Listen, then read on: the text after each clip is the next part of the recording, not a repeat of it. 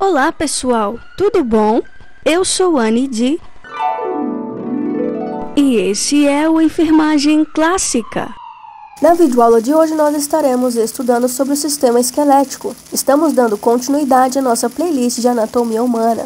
Então, querido, se você ainda não é inscrito em nosso canal, inscreva-se, compartilhe este vídeo com seus grupos de amigos e vamos nessa. No, I'm not a writer. Okay. Meus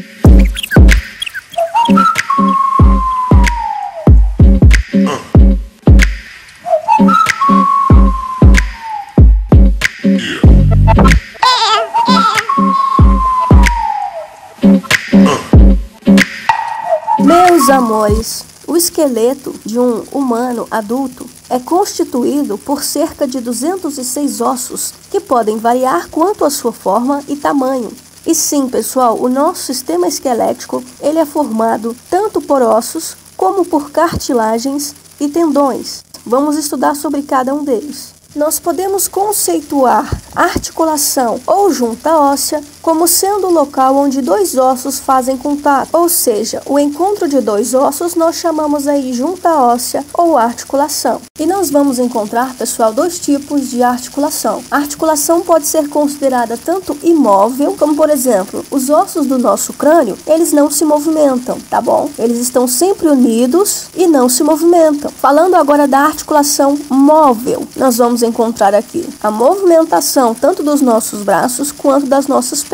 Nós só conseguimos movimentar os braços, as pernas, o quadril devido às nossas articulações ou junta ósseas. Então veja bem, para que ocorra né, a movimentação dos nossos ossos, eles precisam deslizar suavemente sem nenhum atrito, né, pessoal? E para que isso aconteça, nós vamos ter a presença aí de cartilagens, né, nas pontas desses ossos e também pela lubrificação dessas articulações. Falando agora dos ligamentos, pessoal, eles estão presentes em nosso esqueleto, tá? E são cordões resistentes formados aí por tecido fibroso. A principal função desses ligamentos, né, é manter esses ossos em seus devidos lugares, dar sustentação a esses ossos. Sem os ligamentos, nós teríamos aí uma desordem, tá? Uma anomalia. Agora eu te pergunto, sem esses ligamentos, como seria possível a sustentação dos nossos ossos? Não teria como mesmo. Meus amores, em relação à divisão dos nossos ossos, né, do nosso esqueleto humano, nós vamos dividi-lo em duas partes principais. Temos aí o esqueleto axial, que é formado tanto pelos ossos do crânio, tá? Da coluna vertebral, da costela e do externo, enquanto que o esqueleto apendicular é constituído pelos ossos dos nossos membros superiores e inferiores. Eis a nossa divisão. Vamos agora classificar os nossos ossos. O nosso esqueleto, pessoal, ele é classificado em quatro categorias distintas. Vejamos a seguir. Nós vamos encontrar os ossos classificados como sendo longos, como por exemplo o úmero, né, e o fêmur, que são os maiores ossos do nosso corpo. Temos também os ossos do tipo plano ou chatos. Como exemplo, nós temos os ossos do crânio, né, e das costelas. Temos também os ossos do tipo curtos, né, como sendo os ossos das mãos e dos pés. E nós temos também os ossos classificados como irregulares, como por exemplo, nós vamos encontrar os ossos das nossas vértebras. Então, o nosso sistema esquelético ele é fenomenal, pessoal. Na próxima aula nós iremos entrar em detalhes acerca dos ossos presentes no nosso crânio, nos nossos membros superiores e inferiores, de forma detalhada. Então não perca a próxima videoaula, compartilhe esse vídeo com seus grupos de amigos. Shalom, que Deus te abençoe.